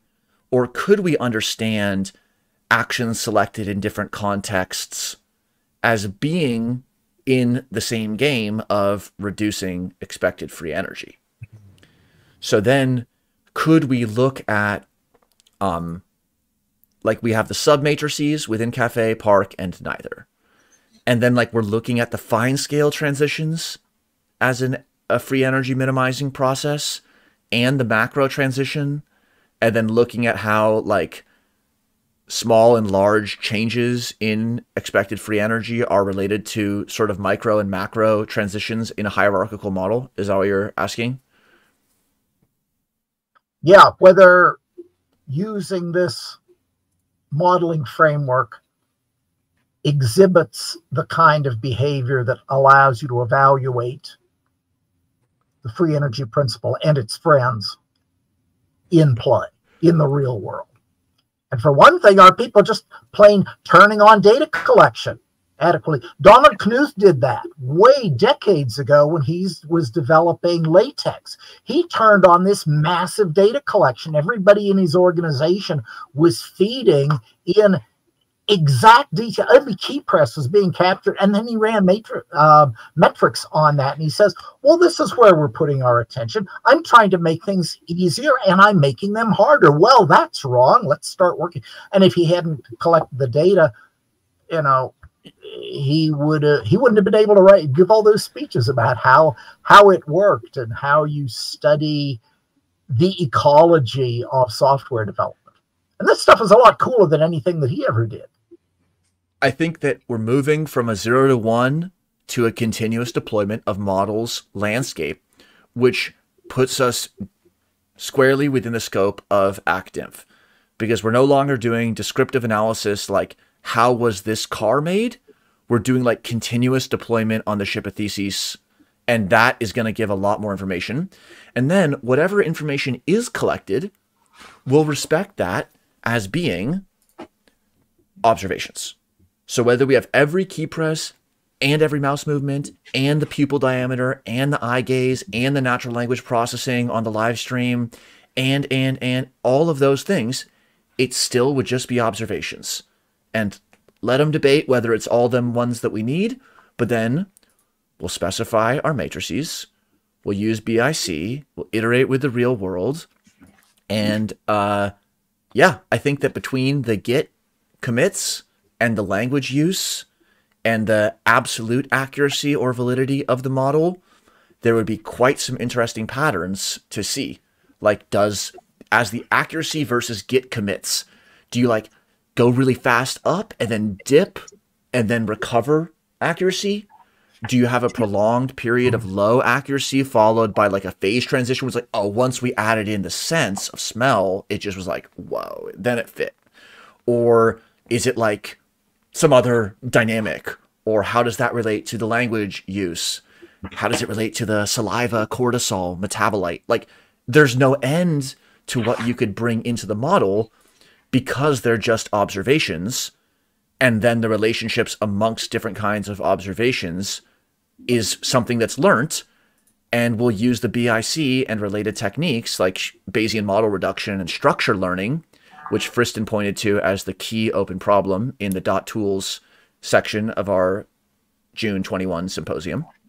Structure learning is how you go from just proposing variants on matrices and exploding your model space to actually finding models that are on that frontier of being useful. So very interesting question, Dave. Thank you, Stephen. And then Yeah, we'll have no, closing but- closing round of thoughts. Brilliant. No, so I, I just seeing that that was really helpful to have this diagram here. So because you've got so you've got preferences and affordances for action straddling.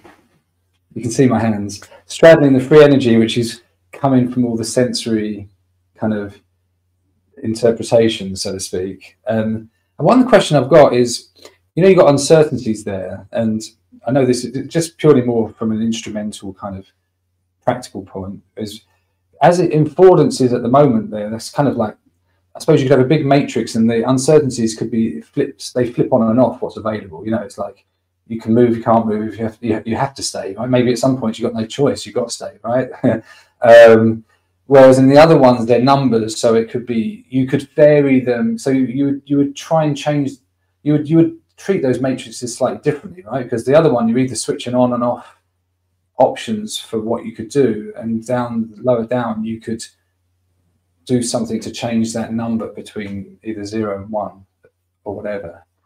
So yeah just wondered what your thoughts are on that Yes. So this is just one architecture and one representation. So I'd be totally open to being wrong on these points, but I'll just bring up what I think is interesting about that. Notice that the uncertainty is on A, not O. So you could say, my thermometer says um, 22.2, but I don't know how that maps to the real temperature because it's a noisy thermometer. That's zero ambiguity about the thermometer. So if but if you say I'm not even sure what the thermometer says, I it's 20 something, then you need another model with what is the visual observation mapping to the ter- thermometer reading mapping to the temperature.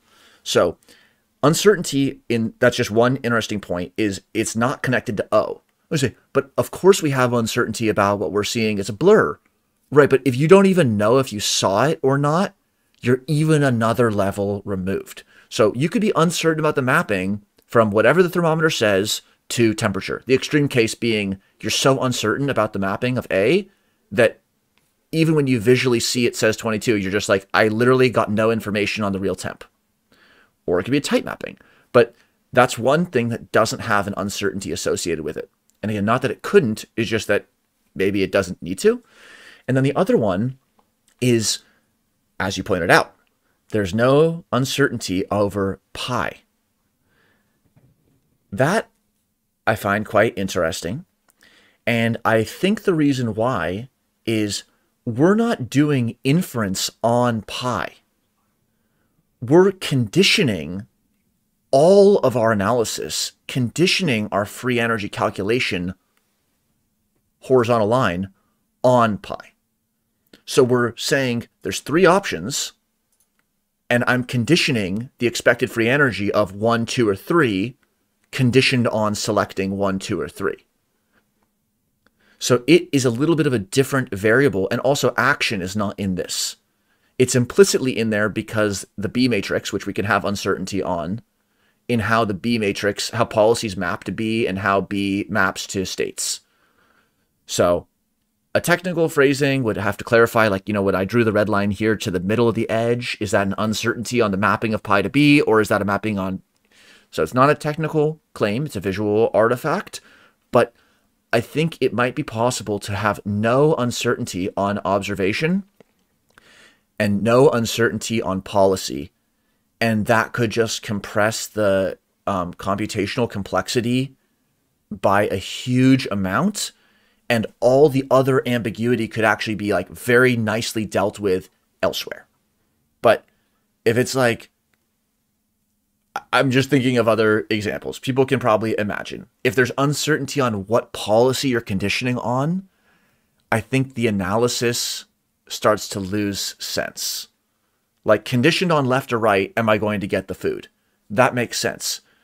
Conditioned on, I'm not sure if I'm going left or right, I don't see how there could be anything other than you don't know. It's not a conditional, so you can't get a marginal likelihood from a Bayesian perspective. Um, so yeah, Stephen, and then we'll have, yeah, last thoughts. Yeah, the last last point. I suppose it's one of those. It's, it's that question saying just do it type of thing, isn't it? With the policy, it's like you've got the option of just doing it, right? So you say like, okay, I'm just gonna I'm gonna just do it and run with it.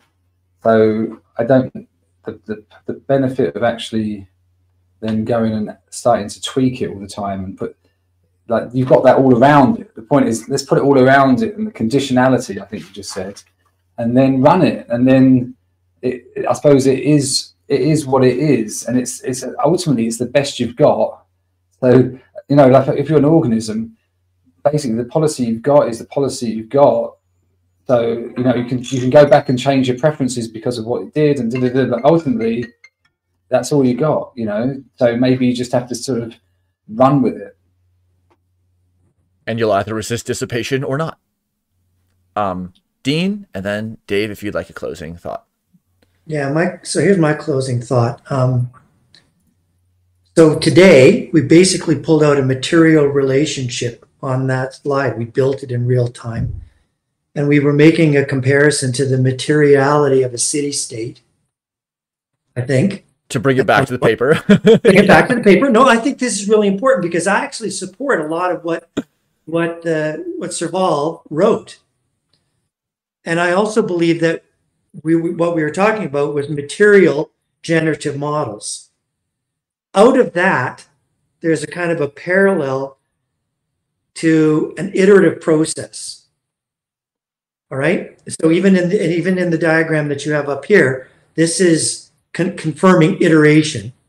So whether that iteration is in iterating, filling in a table versus it being blank, right? There's an iteration process, or the city grew from 12 buildings to, to, to 1200 that's an iterative process or or whatever we've got multiple multiple confirmations of the fact that at scale iteration is a is a thing.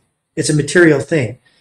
What i'm going to go away from today's conversation because i don't have the answer to this but now i got to think about this is so when we when we move away from those things that fall out, those those capitulations that fall out in terms of skyscrapers and nine by nines from three by threes.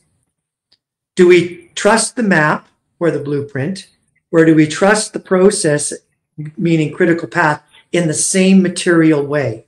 Because I think in the in the point one, as you said, Daniel, we're just talking about zero to one right now. But at some point, we're going to have to get past one and get the real bootstrapping going. And then the question is, do we have to now incorporate something to get outside of scale free for that to make sense? And that's going to be my question to myself is, do we materialize the trust in these models the same way as we materialize the model themselves. That's going to be my, I'm going to go think about that for a few hours because that'll burn a few neurons for sure. It'll go up in smoke. But thank you for this because this was really helpful to me, like incredibly helpful. Thanks. You know, when I was in Model Stream 1 with Ryan and Christopher, and they were going through it, and so there are better people and will be better people to teach it and walk through it, and there'll be a million ways to do it. So it's a funny thing that it happened in 33.2. A funny thing happened on the way to 33.3, but yeah. Dave, any last comments? Yeah, the question of uncertainty over policy require needs a lot of reflection and study. And I would suggest one thing to look at is what exactly is repression?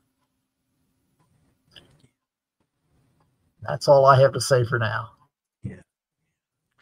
Okay, fellows. Thank you very much. Congrats to those who have listened to the end. And you're always welcome to participate in Active Lab. So thanks again and uh, peace out. Thanks, Daniel. Bye.